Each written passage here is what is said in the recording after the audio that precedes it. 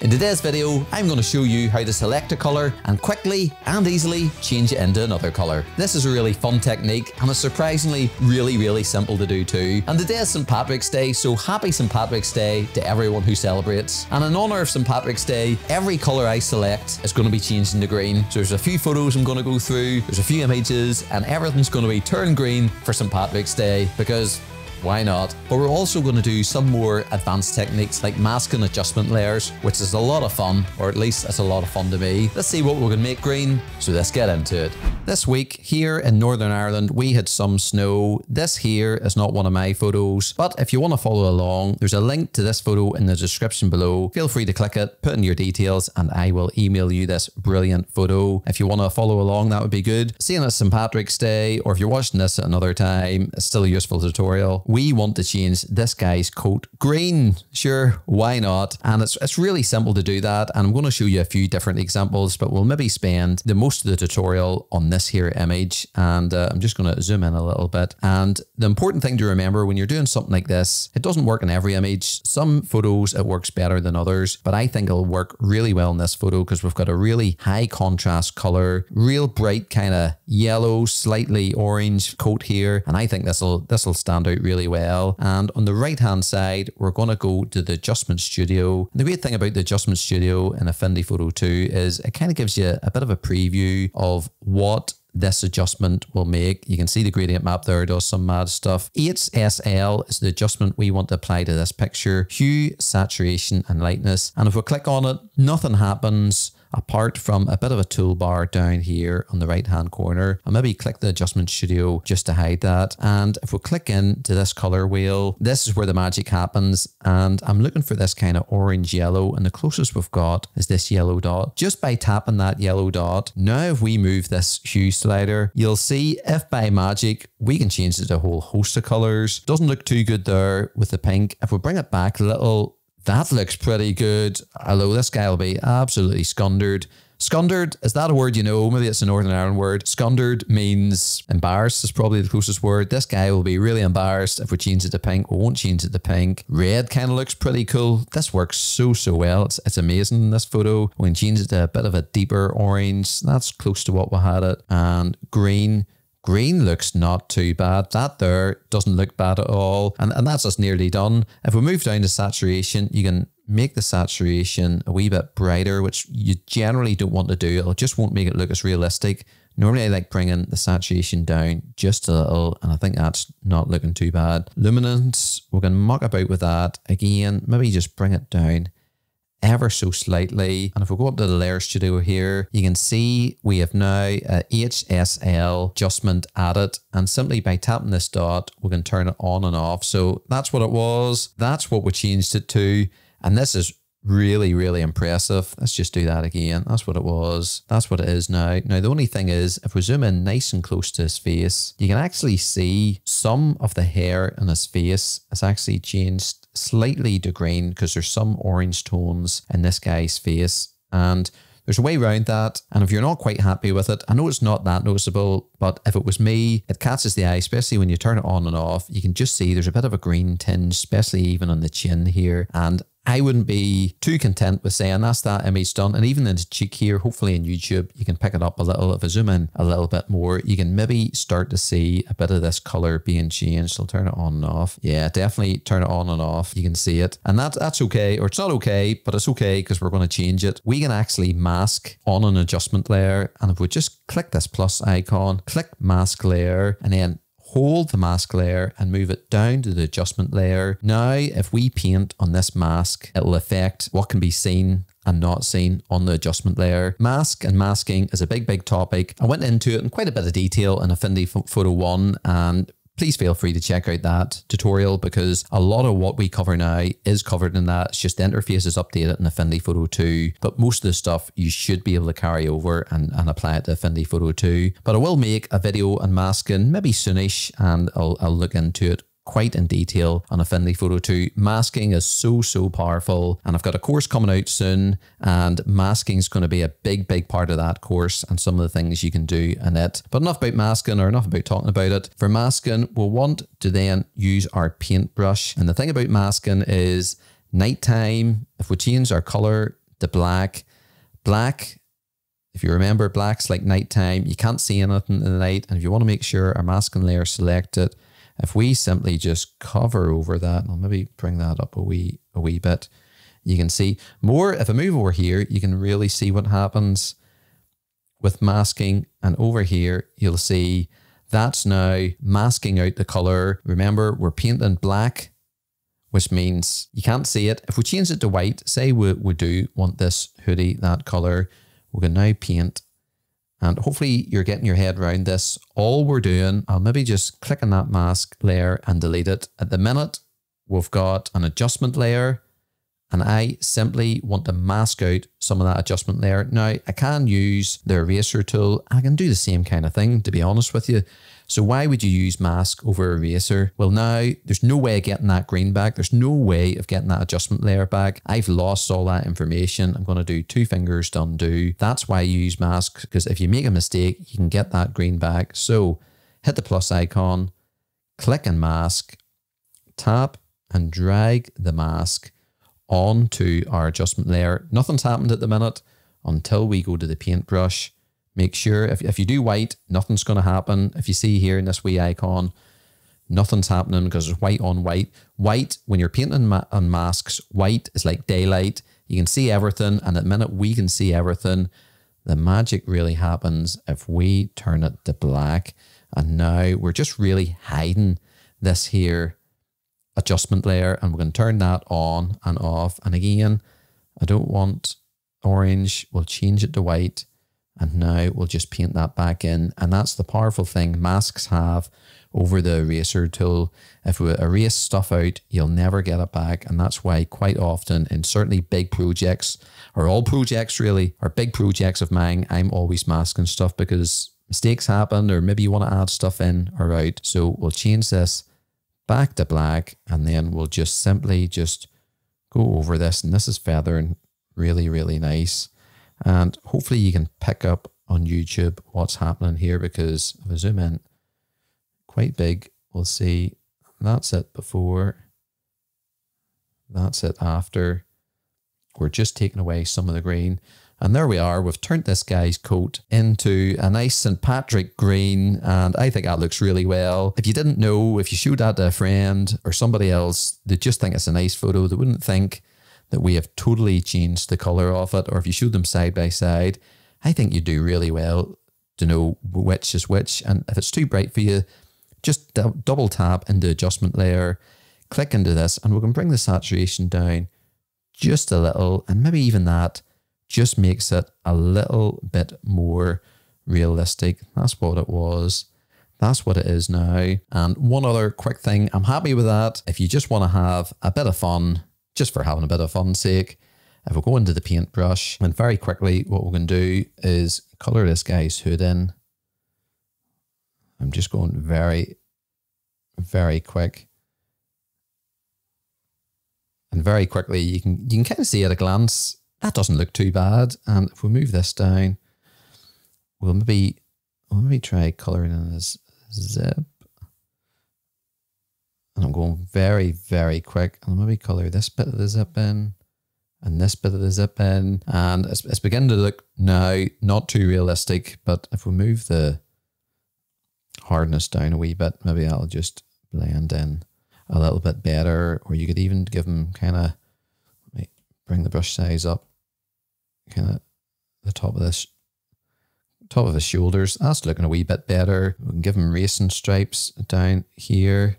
And you can do lots of mad stuff with masks, and that looks semi ridiculous. We'll put it back to what it was, but it just shows you how powerful masks can be and how powerful the hue, saturation, and lightness adjustment layer can be. We'll move it back. And just for a bit of fun, as it is St. Patrick's Day, I want to see, there we go, two fingers to undo to back to where we are. Really happy with that. But as I was saying, as it's St. Patrick's Day, I'm now going to very quickly do the same technique on a few different photos just to show you how fun and how quick this technique can be. Of course, here's Iron Man. And if I zoom out a little, Iron Man's red. This attempt to make him green for St. Patrick's. So we've clicked on the adjustment layer. We're going all the way down to HSL. We'll click on this. Iron Man's red, so we'll change the red and we'll we'll bring it over. We're going to make them all sorts of different colors, but we're going to try to get a nice green. And I didn't touch on this in the last picture. And really, some of Iron Man is still bleeding. Some of this is nearly pinky. So we move this slider, you can actually see it's affecting those pinks. And if we move it even more, you'll see the greens are affecting the blue. And I'm kind of quite like that. And I don't really want to affect his helmet bit here. So I'll maybe move that down just so it's quite gold still. And with two fingers, I'll move this image of Iron Man to the side just so I can see what's happening. Lightness or saturation. I might be tempted just to bring the saturation up a little. Luminous. Maybe bring it down slightly. And this is always the fun bit, before and after. So there is green St. Patrick Iron Man. That's what it was. That's what it is now. That was done in complete seconds. We've still got the gold of Iron Man. Iron Man on St. Patrick's Day, that's what he looks like. Let's do another photo. Straight away, you can see where we're going here, and this should be a very quick and easy one too. Again, we'll go to the Adjustment Studio, we'll go down to Hue, Saturation, and Lightness. Brilliant, shows you a preview of what's happening. We'll click into it. The color here is yellow again, and we'll make it green for St. Patrick's Day. And I think we can do better than that, Andrew. Maybe make the saturation up a little, luminous down a little. That's looking quite nice. For me in this picture, the red standing out far too much.